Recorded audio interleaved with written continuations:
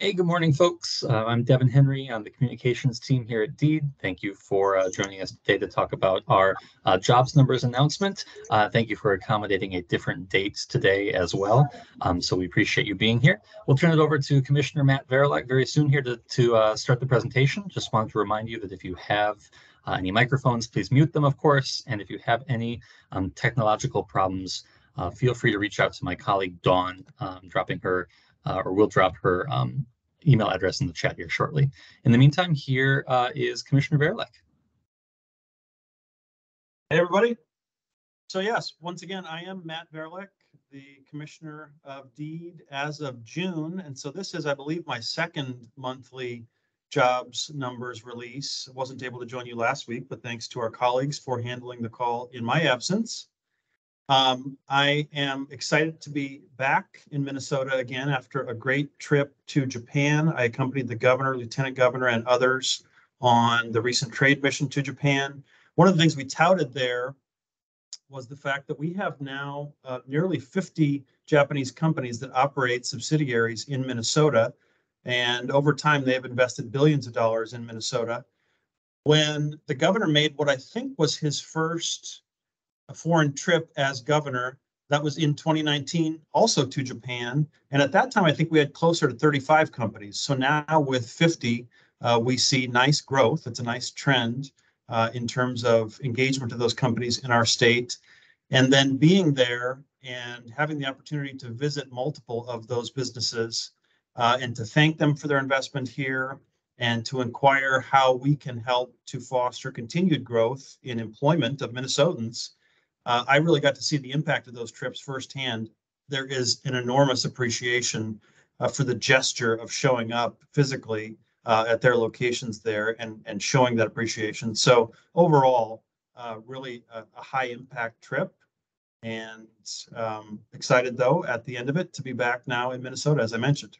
So with that, let's jump into the latest jobs data for the month of August, because as always, we are here in the month of September, uh, speaking of the prior month's numbers. So with today's release of new data, we are pleased to be marking now six straight months of steady labor force growth because 3,225 people joined the state's labor force, uh, many of them right into jobs and some of them looking for employment. With that increase in the number of people joining the labor force, our unemployment rate ticked up one tenth of a point to 3.1% in August. At the national level, for comparison, the unemployment rate went up three tenths of a point to 3.8. So again, Minnesota 3.1, national 3.8. When it comes to labor force participation, the Minnesota rate held steady over the month at 68.5%. And again, for comparison to the national level, uh, that is 62.8% nationally, which is up two tenths from July. So again, 68.5 Minnesota, 62.8 nationally. So continued labor force growth is great news for Minnesota employers. We, of course, continue to hear daily about the challenges employers are facing in finding the workers they need in our tight labor market, reflecting strong demand for uh, the goods and services produced by Minnesota companies. So it's good news that again this month the labor force has increased with thousands more Minnesotans preparing for and finding employment.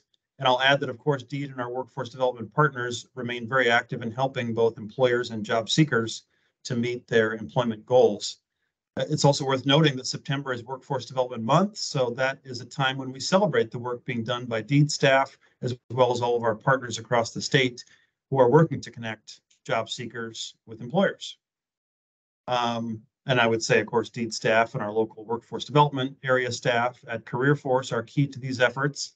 Uh, we consider it all to be critically important. And thanks to the historic new investments coming out of the last legislative session, we have more tools and more resources than ever to help people get prepared for in-demand career path employment. And in the weeks and months ahead, we'll continue sharing information about new initiatives and funding opportunities aimed at addressing these issues. Moving now to the jobs picture. Uh, the numbers out today show that Minnesota had a net gain of 4,400 jobs from July to August. And those 4,400 jobs on net were all in the private sector. Uh, private sector employment in particular grew 4,800 over the month net, and government actually lost 400 jobs.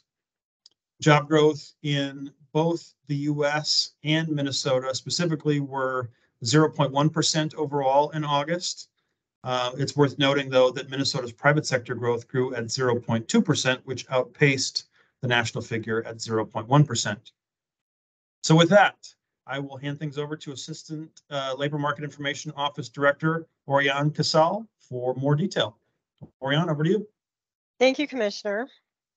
Um, I'm going to go over some of the same things that the Commissioner um, just uh, walked through, um, but uh, maybe a more visual uh, version of them.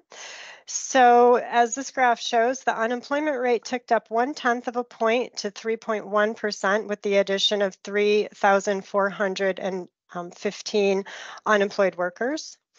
Uh, the number of total um, payroll jobs rose 4,400 or 0.1% with the private sector up 4,800 or 0.2% over the month.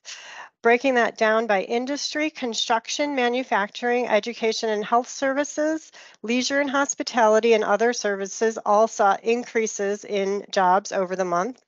Um, while trade, transportation, and utilities, information, financial activities, professional and business services, and government saw decreases, mining and logging remained flat over the month.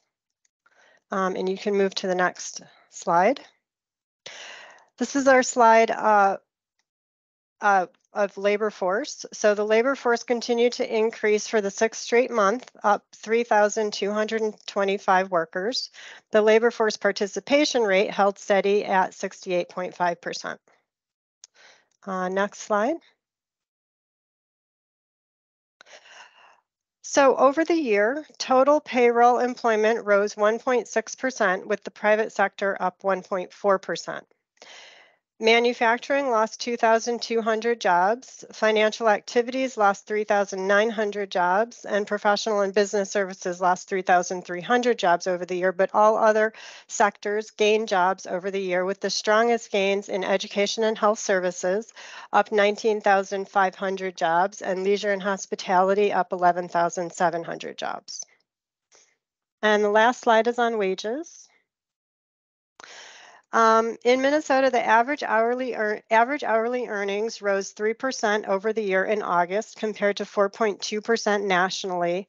Um, and the inflation inflation uh, based on the CPI uh, rose 3.7%.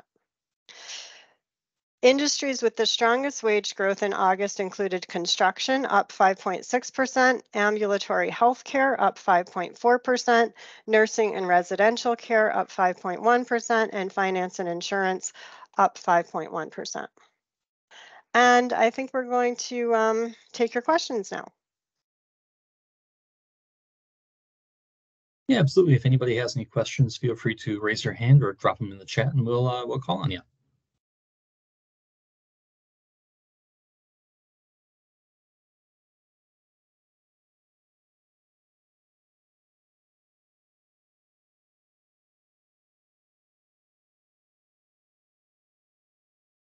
And certainly if there are no questions, that's fine as well. Um, we can we can certainly close it right here and uh, you all have the uh, press release that we sent earlier. If you don't, please let me know. Uh, my email address, devin.henry at state.mn.us. We'll take any follow-ups that way as well.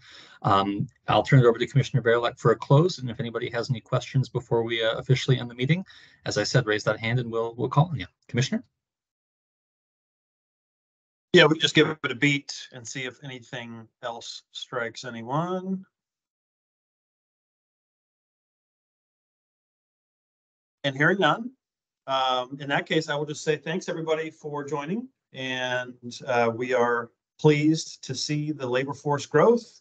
Uh, the job growth as well is positive news and, and these uh, continue some positive trends we've seen lately. If you need more details, please check out the Labor Market Information Office as well as Economic Analysis Office resources uh, that are available on the DEED website. And I'm not sure if uh, Devin may have already put that link in the chat, but um, if you contact Devin or anyone else on the team, they should be able to get it to you. So thanks again, everybody.